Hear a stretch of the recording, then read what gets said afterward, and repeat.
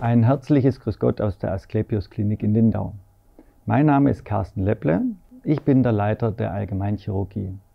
Mein Team, das aus drei weiteren Oberärzten besteht und den Assistenzärzten der Unfallchirurgie, machen ein großes Repertoire an allgemeinchirurgischen Eingriffen.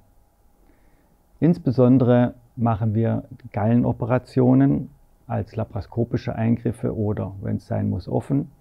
Wir machen die Darmchirurgie, Schwerpunkt ist Hernienchirurgie sowie Portimplantationen, zum Beispiel für die Chemotherapie.